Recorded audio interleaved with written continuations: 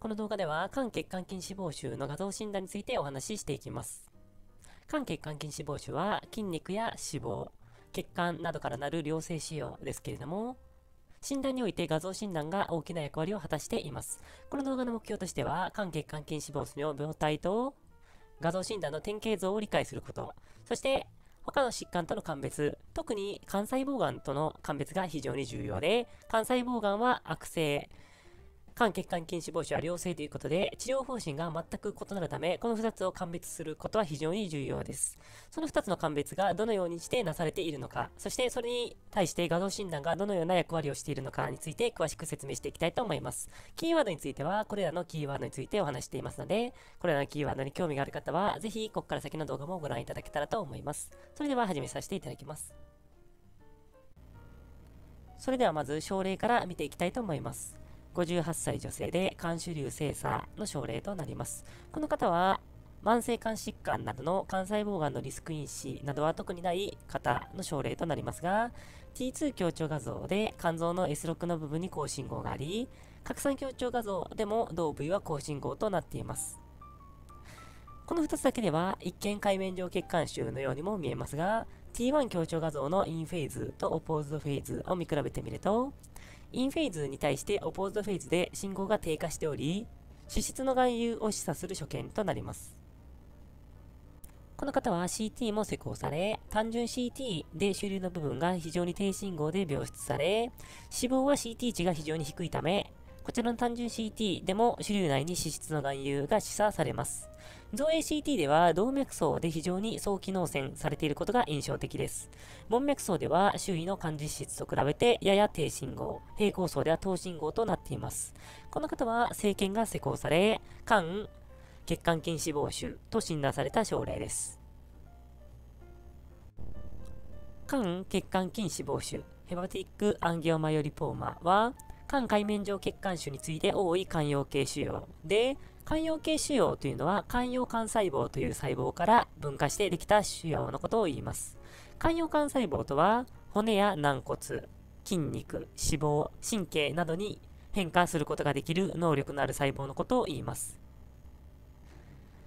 中年女性に多い腫瘍で、男女比は1対2.6、平均年齢は50.8歳となっています。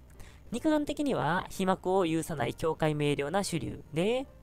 内部正常の特徴としては、血管、平滑筋、脂肪などが混在し、構成比率によって大まかに4つに分類されます。混合型、脂肪種型、筋種型、血管種型などがありますが、脂肪が多いパターンや筋肉が多いパターン、血管が多いパターンなどに分かれています。さらに細かく分類し、こちらのように10種類に分類する方法もあります。一般的には良性とされているので、無症状が多いとされていますけれども、有症状では、右記録物、全身倦怠感、肝主大、腹部主流などが症状として報告されています。血液検査の異常はなく、先ほど言ったように良性が多いですが、極めて稀に悪性転化、腫瘍破裂による急性腹症を呈した症例なども報告されています。この動画のテーマである肝血管筋脂肪腫の画像診断としては、肝血管筋脂肪腫は血管筋肉脂肪がごちゃ混ぜになった腫瘍なので、それらの比率によって画像所見が異なります。特に重要な場合としては、脂肪を多く含んだパターンで、そのような場合には脂肪を検出することができます。例えば CT 値が低い場合であったり、脂肪抑制によって抑制されたり、後で詳しく説明しますが、ケミカルシフトイメージングによって微量な脂肪を検出することができます。血流的な情報としては、早期脳線する場合が多く、この早期脳線によって肝細胞がんとの鑑別が問題となります。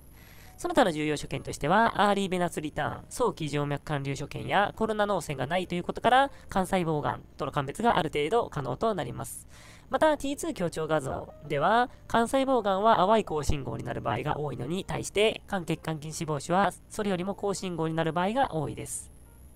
画像診断の最大の役割としては、肝細胞がんとの鑑別が非常に重要で、肝細胞がんは悪性なのに対して、肝血管筋脂肪腫は基本的には良性ですので、治療方針が全く異なり、誤って肝細胞がんと診断され、いらない手術がされてしまうというのは避けたいところです。しかし、画像診断でもこれらの比率によって、肝細胞がんとの鑑別が非常に難しい場合もあり、そのような場合には政権が考慮されます。脂肪を多く含む肝血管筋脂肪腫の場合には、腫瘍の内部に脂肪が含有されているということを検出することが非常に重要です。脂肪の検出には、単純 CT の場合には、脂肪の CT 値はマイナスと低いため、ピクセルの CT 値が全体的に低下し、肝実質に比べて低信号となります。具体的に CT 値を計測する場合には、腫瘍の CT 値が 20HU 以下だと脂肪の含有を考慮すると良いと思います。また、MRI では脂肪抑制法によって信号が低下したり、 in phase と opposed phase を見比べる chemical shift imaging で、 in phase に対して opposed phase で信号が低下するということから、微量な脂肪を検出することができます。 chemical shift imaging は、水と脂肪の歳差運動の回転速度が異なることを利用する技術です。水と脂肪のプロトンは、駒の首振り運動のような再差運動をしていますが、それぞれ違った回転速度で回っています。よって、あるタイミングでシャッターを切ると同じ方向を向いているインフェイズ。あるタイミングでシャッターを切ると反対方向を向いているオポジトフェイズで撮動することができます。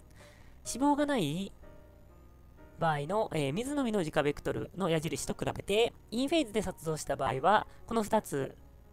が力を合わせた状態となり、矢印が長くなるため、信号強度が大きくなりますが、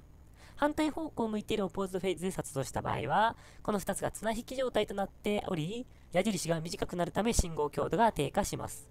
腫瘍内に脂肪を含有する場合は、インフェーズと比べてオポーズドフェーズで綱引き状態となった場合に、信号強度が低下するということから脂肪の含有を検出することができます。このケミカルシフトイメージングは、ピクセル内に水と脂肪が混在している状態で、非常に微量の脂肪を検出することができるため、肝血管筋脂肪腫など脂肪を検出したい病態において非常に有用な撮動法となります。続いて、肝血管筋脂肪腫の画像診断で非常に重要な早期静脈管流について見ていきたいと思います。こちらが先ほどの症例にあった肝血管筋脂肪腫の動脈層の画像ですけれども、主流の変異のここから出てくる血管に注目してください。この血管ですね。この血管を追っていくと、こちらになり、さらに追っていくと、この血管に合流していることがわかります。この血管はここの冠状脈に合流しています。この冠状脈は、下大静脈へと合流しています。この動脈層で主流の変縁から血管構造が出てきて、そちらが冠状脈へと合流していく。これが早期静脈管流の画像所見です。早期静脈管流、アーリーベナスリターンは、主流から連続する冠状脈が早期層で病出される所見を言います。こちらの早期静脈管流は、肝血管筋脂肪腫に極めて特徴的な所見とされ、肝細胞がんとの鑑別において非常に重要な所見となります。主流内で発達したアンペアダーテリーと呼ばれる動脈と静脈との連続、もしくは主流内の血動あるいは静脈用血管が肝実質である静脈に連続する所見とされています。肝血管筋脂肪腫の約73%の症例で早期静脈管流があったとする報告があり、鑑別の対象となる肝細胞がんの肺血に関しては、隣接する類動と門脈を経由するという違いがあり、肝細胞がんの場合にはコロナ用脳線がありますが、肝血管筋脂肪腫の場合には基本的にコロナ用脳線はないというのが鑑別点となります。コロナ用脳線に関してはこちらの動画でも説明していますので、こちらの動画も参照いただけたらと思います。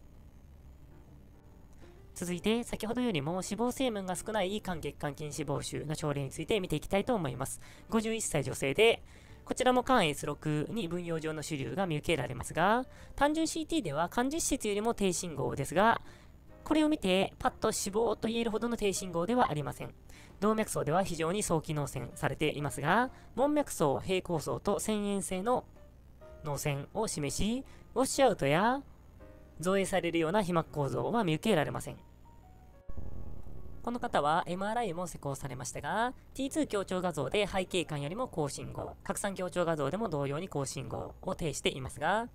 ケミカルシフトイメージングを見てみると、インフェイズとオポーズドフェイズで、主流内の信号差がほとんどないということがわかります。よってこちらの主流に関しては、脂肪成分がほとんどない主流であることがわかり、このような肝血管筋脂肪腫の症例では、肝細胞がんや他の早期脳性を示す疾患との鑑別が非常に難しくなります。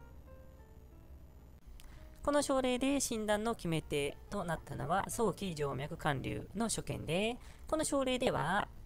腫瘍から非常に太い血管が出ており、そちらが過大静脈に向かっていくということで、肝静脈経由で過大静脈に向かっていく早期静脈管流の所見があることがわかります。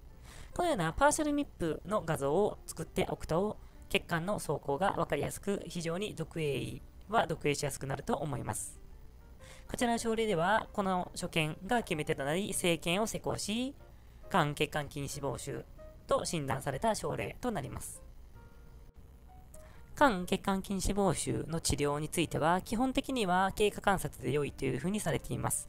しかし、悪性化の観察のために年に1回のフォローが進められています。治療対象となるのは、症状がある場合、腫瘍が進行性である場合、破裂や出血のリスクがある場合、組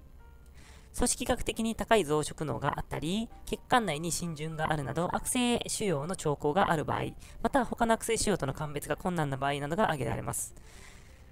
治療に関しては基本的に外科的切除が推奨されますが、その他薬剤投与やラジオ母焼灼療法、また動脈側栓術などが行われる場合があります。特に、こちらの治療方針を見てわかるように、肝細胞がんと根本的に治療方針が全く異なるため、画像所見から肝血管筋脂肪症を疑う場合は、生検を考慮し、不必要な手術侵襲を避けることが重要となっています。肝血管筋脂肪腫は造影検査で早期脳線を示す主流ですけれども、その他早期脳線を示すものとして、肝細胞がんや肝細胞腺腫、原極性血性化形成との鑑別が重要となります。特に悪性腫瘍である肝細胞がんとの鑑別は特に重要で、肝血管筋脂肪腫が早期静脈管理を示すのに対して肝細胞がんは基本的に示さないこと。肝細胞がんがコロナ脳線を示すのが特徴的なのに対して、肝血管筋脂肪腫は基本的に示さないこと。また、肝血管筋脂肪腫は皮膜構造が基本的にはないのに対して、肝細胞がんでは皮膜形成が顕著なこと。その他、腫瘍マーカーの上昇を見たり、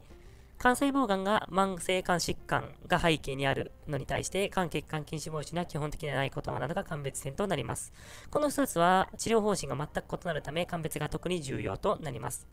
慢性肝疾患の方で肝血管筋脂肪腫がある場合には、特に鑑別が難しくなっており、そのような場合には積極的な政権が考慮されます。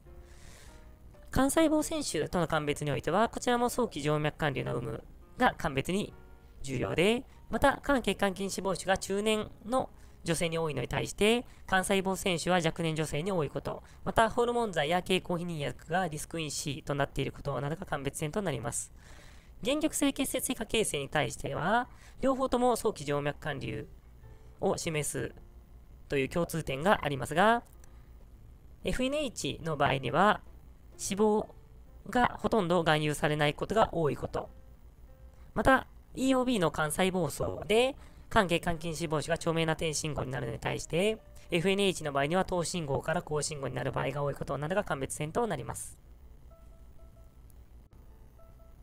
MRI では拡散強調画像と異なるビーチで撮像した場合には、定量値としての ADC マップを作成することができます。こちらは肝血管筋脂肪腫とそれらの鑑別疾患、また正常感の ADC 値を示しましたが、特に鑑別として重要となる脂肪を伴う肝細胞がんとの ADC 値について比較してみると、肝血管筋脂肪腫と脂肪を伴う肝細胞がんでは、肝血管筋脂肪腫の ADC 値が優位に高いということが報告されています。特に正常感と比較してみると、正常感の 1.52×10 のマイナス3乗に対して、肝血管筋脂肪腫は 1.92×10 のマイナス3乗ということで、正常感よりも ADC 値が高い。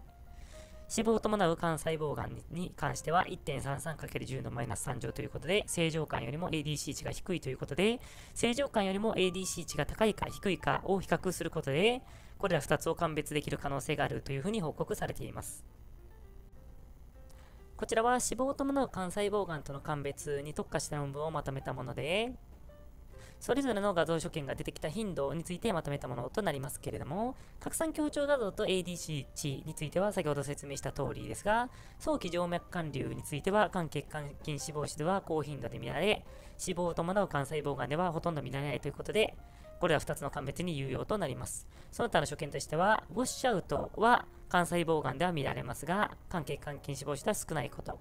皮膜構造については、肝血管筋脂肪腫ではほとんど見られませんが、脂肪を含む肝細胞がんでは高頻度で皮膜があるということ。また、線維性脳線については、肝血管筋脂肪腫は高頻度で示すことなどが鑑別点として挙げられます。肝血管筋脂肪腫の脂肪含有については、全容積の5から90%幅広く、約50%の症例では画像上で脂肪を検出することができないということに注意が必要です。また、使用の出血、壊死、上部胆管の拡張、門脈側線については、肝血管筋脂肪腫では一例も報告がなく、肝細胞がんに特徴的であることも頭に入れておくと良いと思います。それでは今回の動画の内容についてまとめていきたいと思います。今回は